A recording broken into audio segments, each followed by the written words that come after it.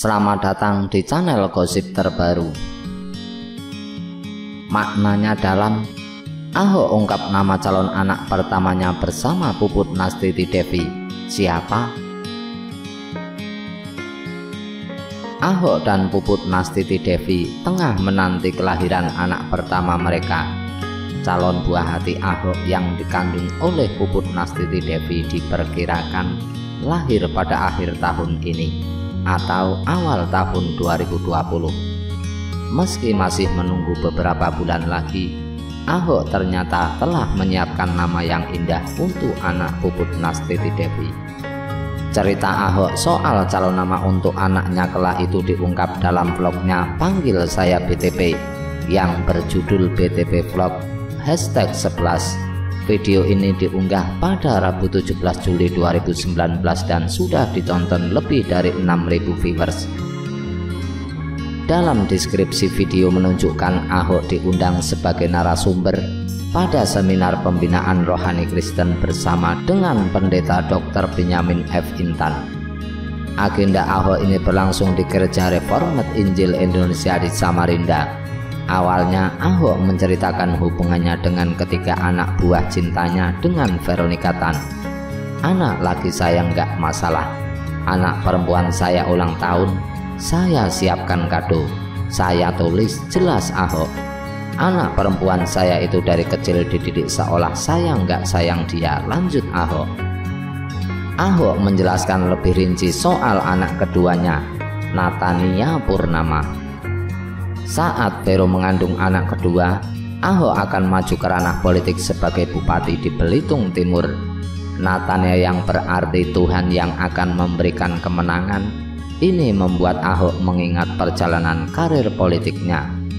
Ahok lalu bercerita, dia sudah menyiapkan nama bila anak dari Puput Nastiti David nanti terlahir laki-laki.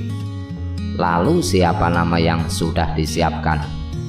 Yosafat adalah nama yang ingin diberikan Ahok bila anaknya nanti laki-laki. Nama Yosafat ternyata memiliki makna yang dalam. Kalau sekarang, kalau saya punya anak laki-laki, mau dikasih nama apa? Yosafat karena musuh yang saya hadapi sekarang saya kalah kekuatan. Saya bukan pejabat. Mereka bisa menjadi oknum sekongkol. Saya nggak bisa apa-apa, hanya bisa minta Tuhan menyembah Tuhan, Tuhan yang akan berperan penuh, kata Ahok.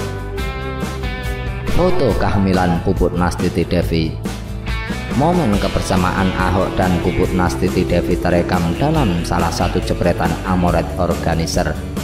Amoret Organizer tengah bekerja di sebuah acara ulang tahun pengusaha bernama Dewi Sutini Jong. Perayaan ulang tahun ke-80 itu digelar meriah di Hotel Mulia Jakarta. Pesta tersebut ternyata juga dihadiri oleh Ahok yang didampingi istrinya, Puput Nastiti Devi. Kebersamaan mereka pun terjepret kamera Amoret. Fotonya lalu diunggah di Instagram Amoret yang bernama @amoretorganizer pada Minggu 22 September 2019. Ahok tampak sedang berbincang dengan pemilik acara. Ia berdiri berhadapan dengan Dewi Sutini Jong. Ahok terlihat taksim mendengarkan pemilik acara yang sedang berbicara. Satu tangannya memegang gelas berisi minuman. Ahok tampil dengan kemeja batik berwarna ungu, sedangkan Puput Nastiti Devi berada tidak jauh dari posisinya. Puput berdiri di sebelah Ahok tangannya juga memegang gelas minuman. Istri Ahok itu datang dengan dress berlengan panjang dengan berbagai motif. Ia tampil dengan riasan wajah tipis. Berbagai perhiasan yang dikenakan Puput Nastiti Devi mencuri perhatian. Puput memakai cincin dan gelang di tangannya. Yang tak kalah mencuri perhatian adalah perut Puput yang jelas terlihat buncit. Kehamilan Puput Tampaknya sudah semakin mendekati hari lahir hingga perutnya tak lagi bisa ditutupi di balik baju. Berikut fotonya.